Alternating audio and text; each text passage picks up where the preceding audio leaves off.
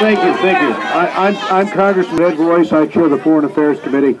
My chief of staff, Amy Porter, has done some relief work in Cambodia. She told me about what she's seen with her own eyes in Cambodia. And let me say these words of encouragement to all of you. Hun Sen has ruled that country now for three decades. Stolen elections. The most recent election in which there were 55 seats for the Cambodian National Rescue Party. You and I know there were far more seats than that. You and I know that 10% of the voters who were voting against the government in power had their names struck in the rolls. And you saw the voter intimidation, the attempt to create fear, the attempt to prevent people from voting as well. And many of you know that they stuffed the ballot boxes. It was a fraudulent election. And when the people took to Freedom Park, took to protesting, what happened? They were attacked with water cannons. They were shot. Many were injured. One was killed. Tear gas.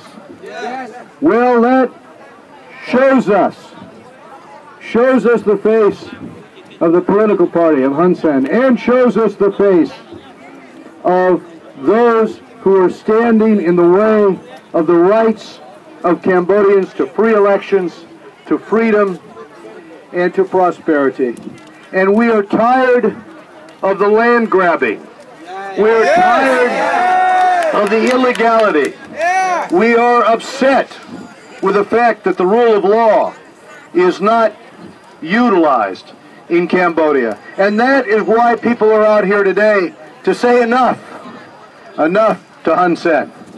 And so I am here to share with you my support for change in the future.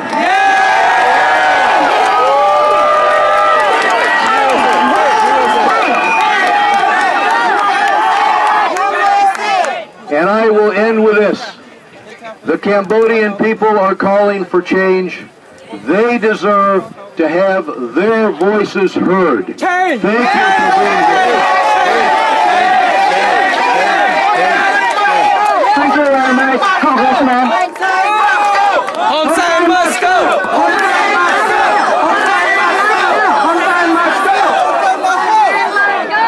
Thanks a lot, uh, uh, Congressman Eddie Royce, and uh, for your uh, showing.